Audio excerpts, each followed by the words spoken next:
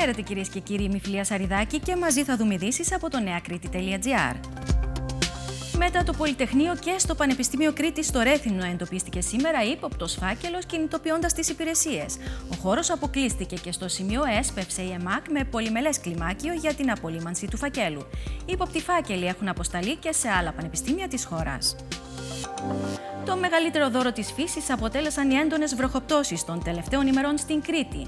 Θεαματικές εικόνες από το φράγμα Ποσελέμι, όπου ο νέος αγωγός και το χιόνι έδωσαν ανάσα. Και την τελευταία του πνοή άφησε ο Κάρολος Καμπελόπουλος, που έφυγε από τη ζωή σε ηλικία 86 ετών στο νοσοκομείο Χανίων.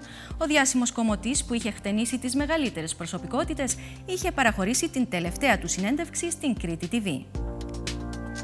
Για ειδήσεις από την Κρήτη, την Ελλάδα και τον κόσμο, μπείτε στο νεακρήτη.gr και ακολουθήστε μας στα social media.